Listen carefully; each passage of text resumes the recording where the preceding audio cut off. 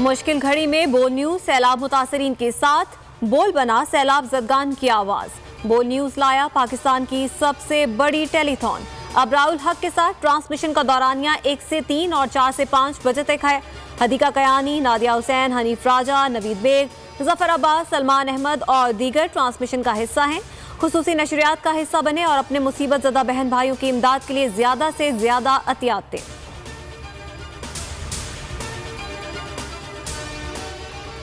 सैलाब से कयामत खेज तबाही न थमी। 24 घंटों के दौरान मजीद 119 जिंदगियों के चिराग गुल एनडीएमए के मुताबिक सिंध में मजीद छिहत्तर, खैबर पख्तूनख्वा में इकतीस अफराज जहाँ बहक हुए। चौदह जून से अब तक एक हज़ार तैंतीस अफराज जान की बाजी हार चुके। सैलाब से दो लाख सतासी हज़ार चार सौ बारह घर मुकम्मल तबाह। छह लाख बासठ हज़ार चार सौ छियालीस मकान को जुजवी नुकसान पहुँचा। एक सौ उनचास पुल बह गए।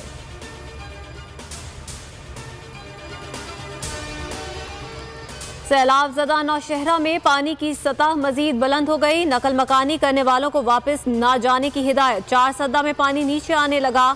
मजीद रैलों का खदशा। स्वाद में भी सैलाब से बदतरीन तबाही। खैबर पख्तूनख्वा में तबाही के बाद रैले पंजाब पहुँच गए। मियाबाली में सैलाब का खतरा। राजनपुर, कोट अद्दू के मकाम पर दरियाए सिंध में ऊँचे दर्जे का सैलाब नशेबी इलाके पहले ही खाली करवा लिए गए।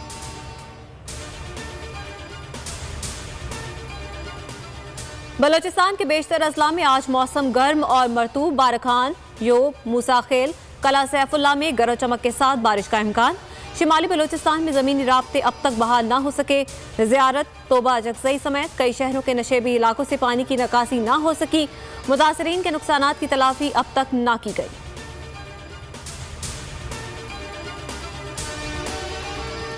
सिंध में सैलाब मुतासरीन की मुश्किल बरकरार। खैरपुर में कई मकाम पर अब तक 12 फुट पानी मुतासरीन महसूस। सिंध के दीगर इलाकों में भी मुतासरीन लाचार। पी पी रहनुमाओं की मुसीबत जदा लोगों से बेरुखी। मंजूर वसान खैरपुर पहुँचे, मगर गाड़ी से न उतरे। आवाम के एहतजाज पर गार्ड्स की हवाई फायरिंग। मुतासरीन भूख से बिलकते रहे। पुलिस अहलकार मोबाइल में बैठकर खाना खाते रहे। सवाल करने पर एक पुलिस अहलकार ने मुजाहरीन पर डंडे से हमला कर दिया। बदीन में सेम नाले पर मसनू कट लगाने पर डेप्यूटी कमिश्नर से एहतजाज करने वाला देहाती गिरफ़्तार। मुकदमा दर्ज।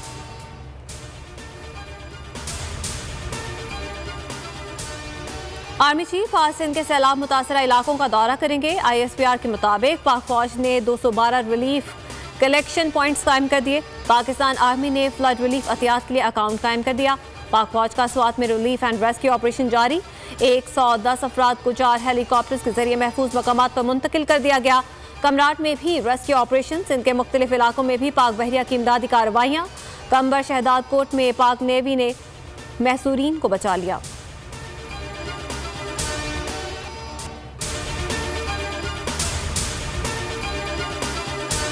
मैं हूँ जैस्मिन मंजूर और आप मुझे देखेंगे सिर्फ़ बोल पर।